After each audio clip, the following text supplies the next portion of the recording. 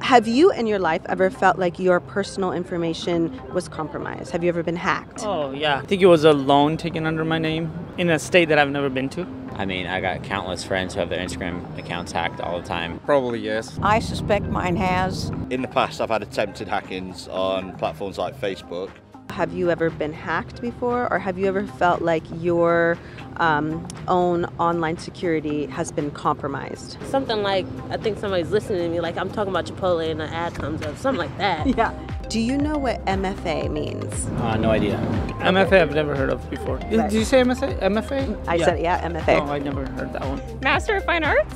I, I don't know what MFA is. Let's say you're logging into your bank and you get that code, that, that text message, or maybe it goes to your email. Right. Do you know what it's called? Uh, SMS?